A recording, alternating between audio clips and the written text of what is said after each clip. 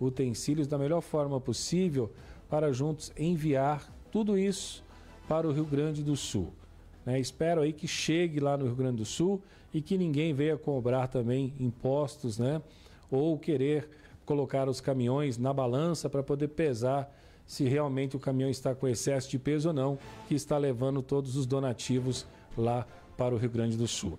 Mas a nossa equipe esteve em campo entrevistando algumas pessoas que estão aí fazendo esse trabalho para motivar e arrecadar também né, todos esses donativos para o pessoal do Rio Grande do Sul. O Caio coloca agora a reportagem no ar. Hoje nós estamos aqui no centro de Três Lagoas para contar um pouco da mobilização que vários órgãos estão fazendo para juntar aí donativos para enviar aí aos nossos irmãos lá do Rio Grande do Sul que infelizmente estão sofrendo com as fortes chuvas. Aqui no centro não é diferente. Eu estou aqui com o Davi, que é gerente aqui da World Sports, que vai contar um pouco para nós como que está funcionando essa ação e como que a população pode fazer para colaborar. Davi, bom dia. Bom dia, bom dia a todos os ouvintes da Raro, hoje demais aí, tudo certo. É, na verdade, assim, acho que é uma corrente que todo mundo tem que se ajudar. É uma catástrofe que aconteceu com o pessoal do Sul, né? E a gente está unindo forças aí e estamos participando também, não pode ser diferente, né? A gente está participando dessa ação aí.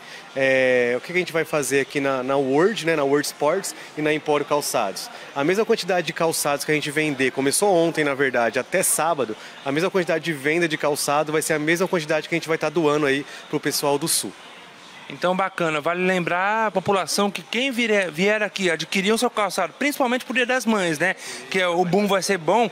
Então, essa, essa mesma quantidade vai ser revertida lá para o Rio Grande do Sul. Na verdade, é, a loja já tem uma, uma grande demanda de venda nesse dia, né? Então, já vende muito. Então, é, só dessa venda do Dia das Mães já está acontecendo, já vai ser uma grande quantidade que vai estar tá sendo doada aí para o Sul. E a galera que quiser estar tá ajudando também, comprou qualquer calçado aqui, essa já vai estar tá ajudando também a estar tá enviando esse calçado para o Sul.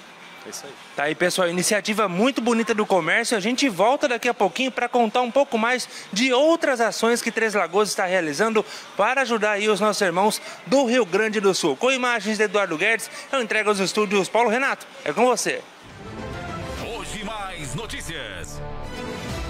Olha, os empresários do Brasil estão se mobilizando e aqui em Três Lagoas também o empresário Jenner com as suas duas lojas aí se colocando também à disposição para poder ajudar.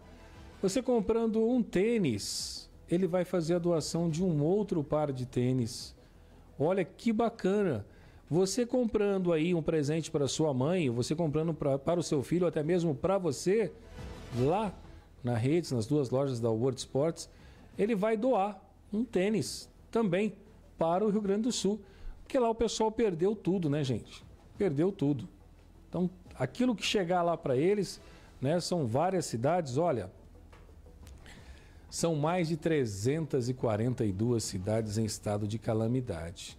Sabe o que é isso? São muitos municípios que foram impactados e afetados pelas enchentes lá no Rio Grande do Sul. Mas tem mais gente ajudando aí, né? Tem mais gente ajudando. O Caio coloca, a nossa equipe está nas ruas conversando com as pessoas que estão aí fazendo campanha de arrecadação. Bom, agora a gente veio aqui na Coordenadoria Regional da Educação da Secretaria de Estado de Educação em Três Lagoas. Conversamos com a professora Marisete Bazé, que nos explicou como que vai ser essa ação de mobilização que motivou até os alunos da rede estadual de Três Lagoas a participar e ajudar os nossos irmãos lá do Rio Grande do Sul. E é o que você confere na matéria a partir de agora. Nosso governador sensibilizou, né, como todas as pessoas, vamos dizer assim, e é, conectou com a Secretaria de Educação do Estado, o qual nos passou que a gente fizesse essa aliança com as escolas de Três Lagoas, para que a gente também agitasse os nossos alunos para essa doação para os nossos irmãos do Rio Grande do Sul. Então a gente pegou quatro escolas como ponto focais, que foi a Escola João Ponce, a Escola João Dantas, a Escola Afonso Pena e a Escola Fernando Correia. A população que quiser ir nessas escolas para fazer a doação pode também ou é apenas para a comunidade escolar? Não, qualquer pessoa está livre. É só chegar nessa escola e levar essa doação, tá? Qualquer pessoa vai estar colaborando com, com a escola e fazer com que a gente faça essa ação, né, para os nossos irmãos. Até quando vai essa mobilização aqui nas escolas Três Lagoas? Olha, é, até quando a gente puder estar levando, né? Porque não é só receber, a gente tem que se organizar, separar e enviar. Câmara Municipal e Prefeitura de Três Lagoas entraram também na mobilização de arrecadação de fundos e também donativos para o Rio Grande do Sul. Se você deseja colaborar, pode trazer aí os seus donativos aqui na Câmara de Três Lagoas, das 7 da manhã até as 5 da tarde. O mesmo horário também vale para o Paço Municipal, em frente à Praça Ramstedt. É a colaboração de todos que vai ajudar aí os nossos irmãos do Rio Grande do Sul. Com imagens de Eduardo Guedes, eu entrego a bancada com você, Paulo Renato. Notícias.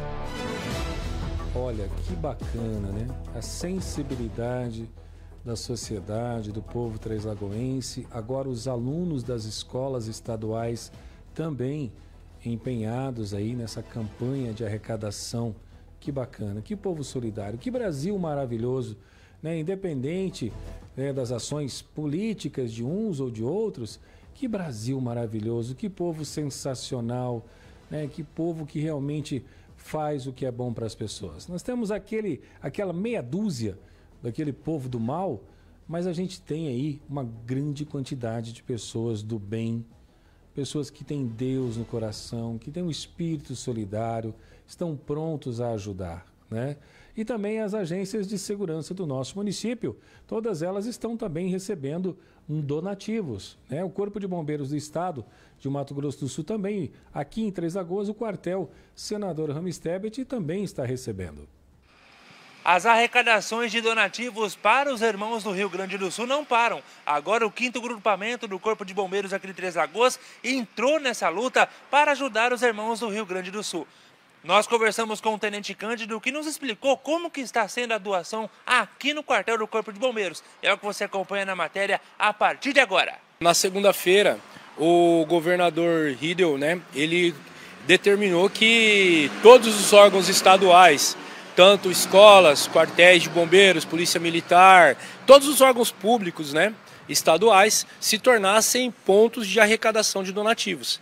E a gente já vinha fazendo a questão da campanha de agasalhos do Estado, então a gente já estava praticamente aí já recebendo alguma coisa, né?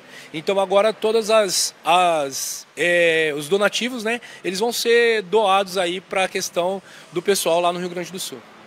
Qual horário de funcionamento aqui do quartel para os moradores de Três Lagoas que querem estar tá doando, trazendo algum donativo para cá? O quartel do Corpo de Bombeiros não fecha. A gente, a gente está aqui dioturnamente 24 horas por dia durante os 365 dias no ano. Essa campanha vai até quando de arrecadação aqui no quartel? Ela será fechada semanalmente, né? Semanalmente e os donativos serão enviados todas as sextas-feiras. Com a imagem de Eduardo Guedes, repórter Octávio Augusto para Hoje Mais. Hoje Mais Notícias. 11 horas 30